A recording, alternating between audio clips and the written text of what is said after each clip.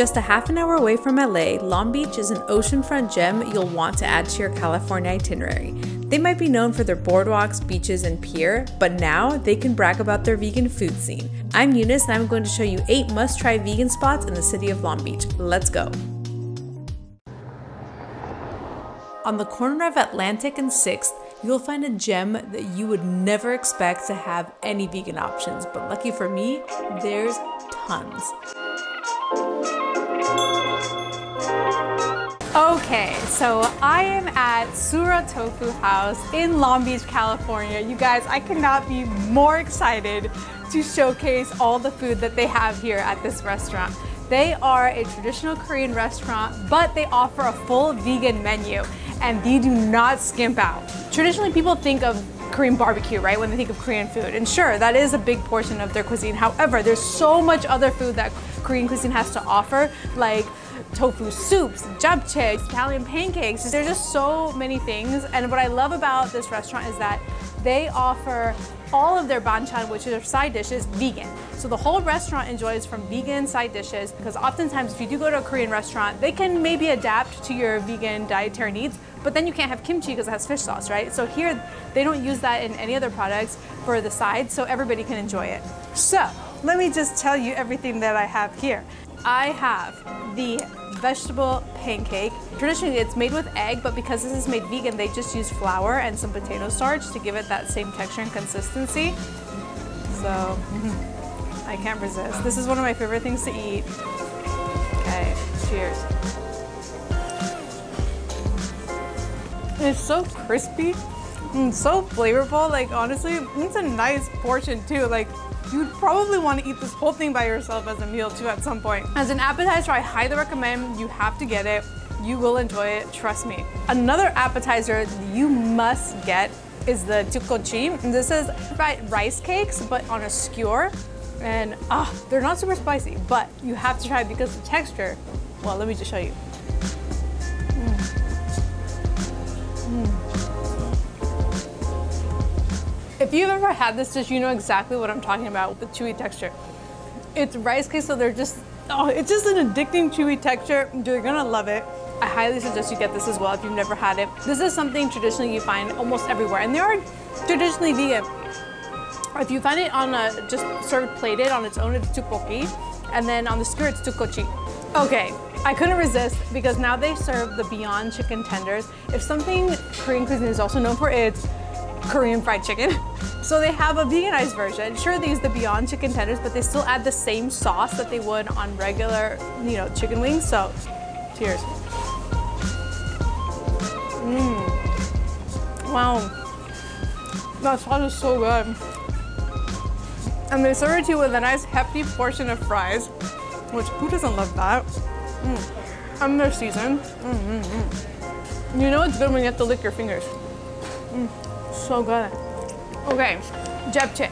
If you've never had japchae, they are green glass noodles served with veggies. A lot of times it's also traditionally served with meat, but sometimes you can hack this one at most restaurants and ask without like meat or any of that. And so this one just has veggies in it. If you love nudes, you're gonna love this. Mmm. Mmm. Mm-hmm. You guys, I wasn't even done taking a bite of that. I already knew it was delicious. It was so good. It was so flavorful.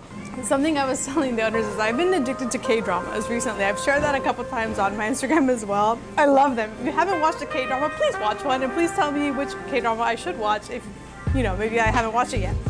But something that you'll notice when you're watching these is the food like gets to you. You're like, oh my gosh, I just want to eat Korean food. Like that's all I want to do right now. Japchae is one of them, ramen is one of them. They have a hangover ramen soup here, vegan, and it is one hearty portion. It's massive. Like, I highly recommend you try that too. So good. Okay, so something a lot of people are familiar with is bulgogi. Bulgogi is a Korean beef, right? But they make theirs out of TVP, but the marinade is exactly the same as they would for their regular beef, and it is served piping hot. And I really appreciate that because I like my food super hot.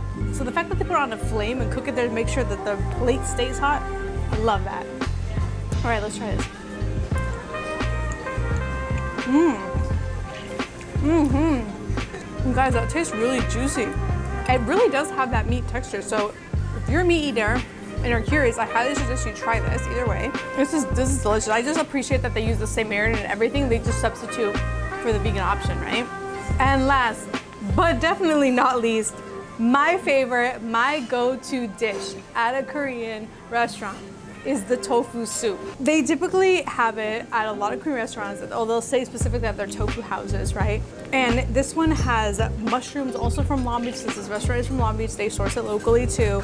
And it's also served piping bubbly hot with wild rice. Oh my goodness. Mm, just get a little bit of rice and then some of the soup. Cheers. Mm. Oh my gosh. It never gets too cold in California, but trust me, in the winters, you still want this. It's amazing. You don't care, I would eat it in the summer. Like, it's just so good year round. Oh my gosh, this, this dish never fails. Honestly, if you want to have a good traditional Korean food experience but vegan, there's only one place you need to go and it's here. Like trust me, you will not regret it. You need to come to Sura in Long Beach. Next, because you're in Cali, you need to have tacos. And La Taqueria brand not only has the classic taqueria menu, but they have three vegan protein options. So, of course, I had to try them. But first, you need to hit up the salsa bar because that makes them even more legit. And they even have frijoles de olla. But let's get to the tacos. I got the jackfruit birria and al pastor, but they also have chorizo con papa. So, now the taste test. I tried the birria first and it was absolutely delicious. It had a smoky flavor, but the al pastor, I think this was my favorite, it had a touch of sweetness too. I 100 100% would come back here and maybe even pick out on a burrito. Next, it was time for a sweet and savory meal you would least expect to be made vegan.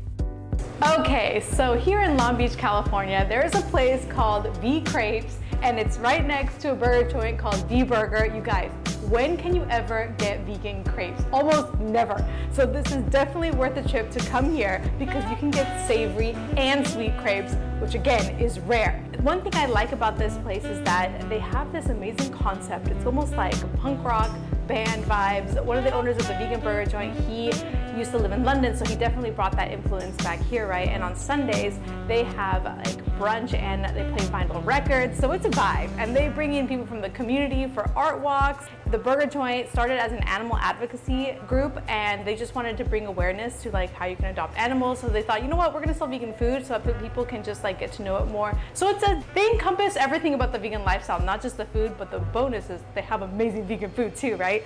So I got the vegan chicken parmesan because again, when can you ever see that? Never. It was calling my name. It's got the vegan mozzarella. It's got the vegan crispy chicken, the fluffy looking crepe, vegan parm, just layers of ooey gooey goodness. And I'm gonna give it a try right now. This is so good. Like, I like it because the portion's not super massive. It's nice and light. It's not super heavy, but it still leaves you content, right? More importantly though, you have room for dessert. Oh my gosh, I love the crispy vegan chicken beyond. They use the melted Violife cheese, the marinara, the parmesan, everything here is just so flavorful. It's delicious, it's made to order, but let's also try a dessert one. Okay, so now it's time for the best part, dessert crepe. Oh my gosh, you guys, the minute I walked in here, I was eyeing the s'more crepe. It has the fluffy crepe, the vegan marshmallow cream, chocolate, graham crackers, homemade vegan whip that they make in-house. Okay, I'm not waiting anymore. I need to try this delicious vegan crepe, s'more style, because oh, I love all things s'more. Get tons of that whipped cream. All right, cheers.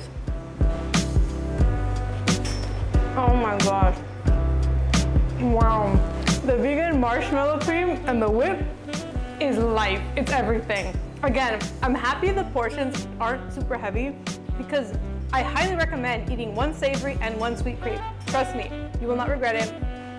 You will have room. I mean, I hope you have room. I kind of eat a lot, so I hope you guys have room. so something that's really cool about their crepe batter is they make it themselves with like oat milk. It's very low preservative, it's very natural. Uh, typically, people think they can't eat vegan crepes because it's loaded with eggs and butter, right? That's the traditional recipe. But they make it vegan and they show you that it can be made vegan and it tastes just as good. So make sure you come to Long Beach, check out V Crepes, check out vegan burger. You will not be disappointed.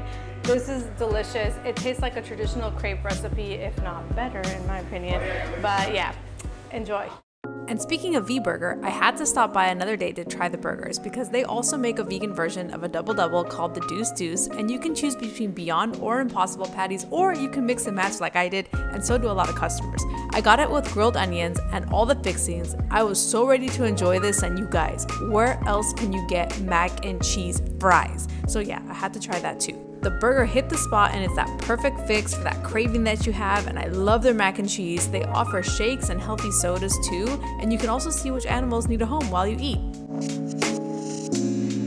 Next, it was time to go to the west side of Long Beach for Vegan Castle because this is a vegan sushi spot you won't want to miss. They have deep fried rolls like the volcano roll with shrimp and jalapenos. It's so big, you need skill to pick it up.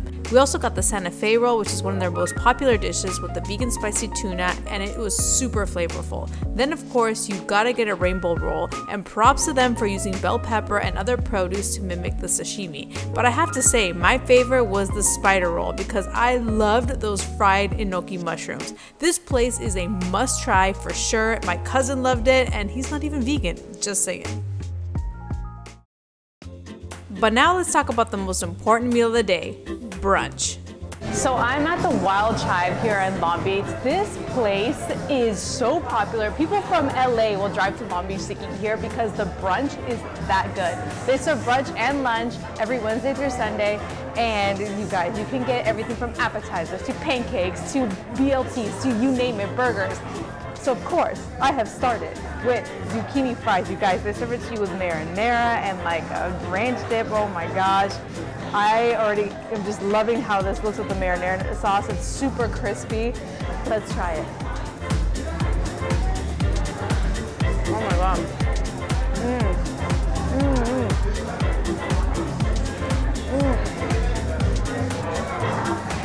Listen, who needs mozzarella sticks when you can get fried zucchini? This is amazing. Oh my gosh. Mm. I don't care what anybody says. This is the best way to eat vegetables. The Wild Chive started as a pop-up and it, just from there, slowly, slowly, it has grown into this beautiful brick and mortar with lots of decorations. You can see their history through the walls.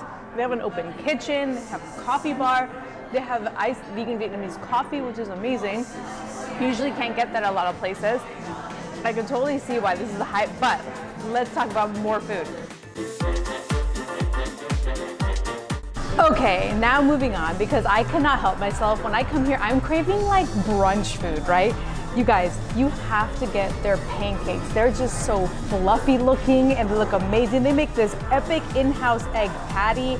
They got vegan bacon, they got everything. And the reason I got this plate is because a while back ago, they made a special that was breakfast pancake tacos. And I was like, this is freaking genius. So they don't have that anymore, but you can essentially make your own taco plate, right? With the pancakes, the side of sausage, the bacon, the egg. So let's give this a try. I'm gonna grab a little bacon and the egg and some pancake. Cheers. Mm. Oh yeah. Mm. Um, mandatory when you come here, please get tater tots. They're one of the best things in the world. Mm. Mm. Oh my god, so good. The sausage patty is made in-house and I love how flavorful it is. I love that it's not like store-bought vegan processed meat. They really do make an effort to make everything in-house. Trust me, I understand why this place is worth the hype. If you're craving brunch food, you definitely gotta do it. They have other foods like burgers, like I said. Make sure to come check them out. Okay, you guys, do not leave without trying the beignets. These look so magical. They look so legit, so fluffy. Oh, and they serve it to you with this amazing looking jam. Cheers.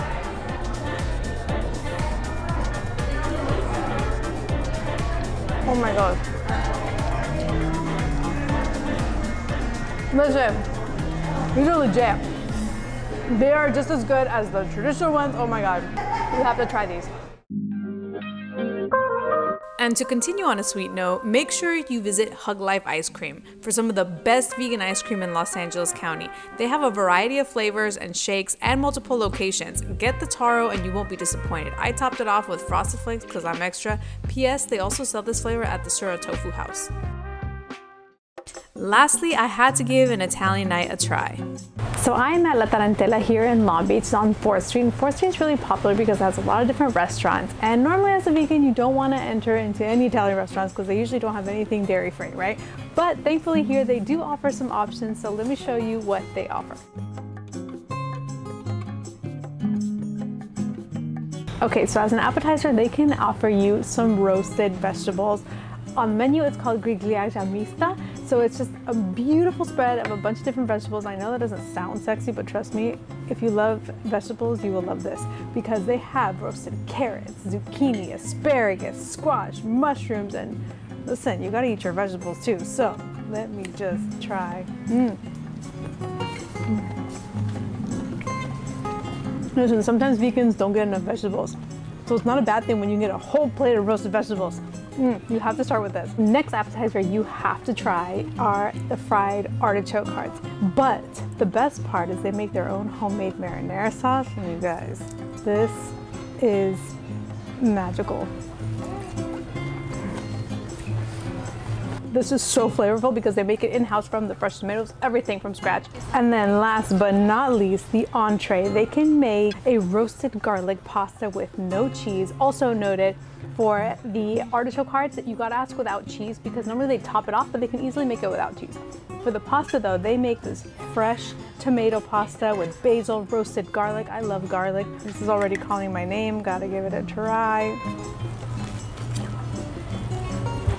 Mmm. Definitely al dente. For me, it needs a little more salt, so I'm probably gonna add more salt to it, disclaimer. And one thing I have to point out is if you want pasta here, you have to get the gluten-free option because all the fresh pasta that they make in house does have egg, unfortunately. And also, unfortunately, you can't eat bread here because they put milk in it. So yes, their vegan options are limited, but they do have options that you can have. But it's nice that you have an Italian option here in Long Beach, right? And don't forget to ask for the sorbet because this one is vegan and it comes straight from Italy. Long Beach has so much to see and do, and there's way more vegan restaurants that I didn't even get a chance to cover, so you should definitely explore and put it on your list to visit Long Beach during your next stay in California. Catch you next time on Rated V. Bye!